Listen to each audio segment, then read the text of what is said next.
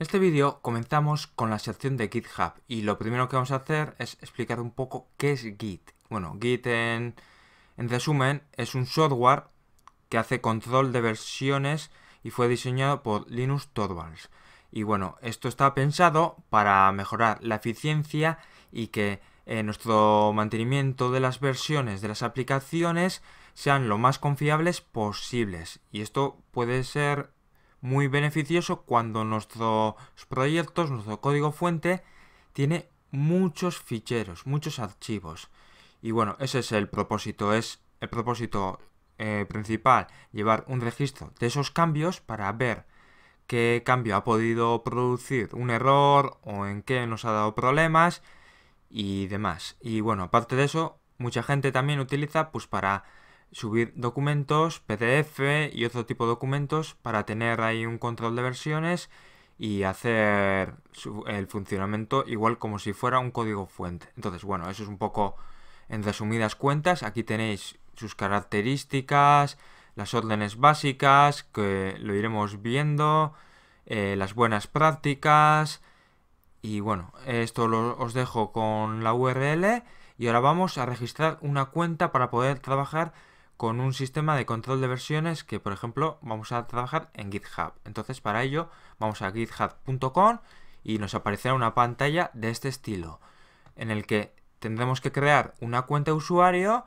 En el caso de que no la tengamos, si la tenéis, pues simplemente pulsáis Sign In y introducís vuestros credenciales y ya pasáis al siguiente vídeo. Y si no tenéis una cuenta, pues tendréis que seguir los pasos de este vídeo.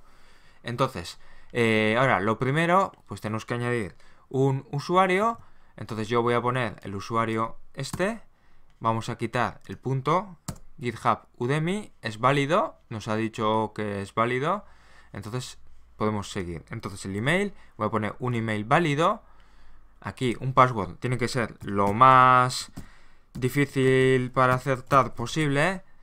Y bueno, cuando tengáis el password bien definido, ya podéis pasar al siguiente paso pulsando esta tecla.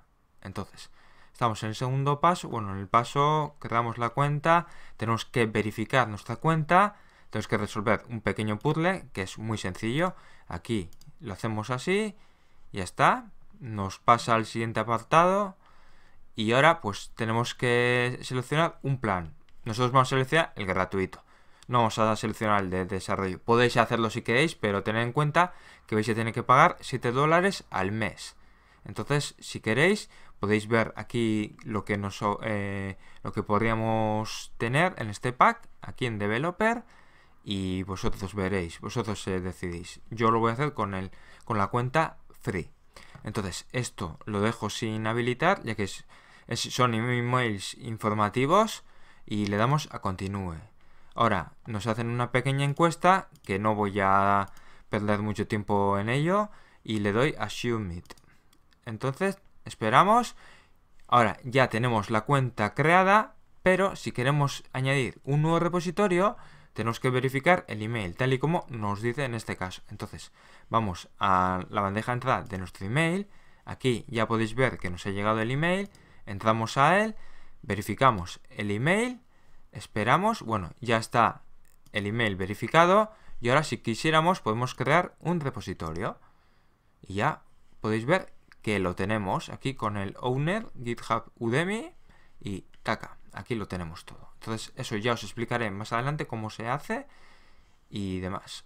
Y bueno, en el siguiente vídeo eh, vamos a ver cómo se instala Git.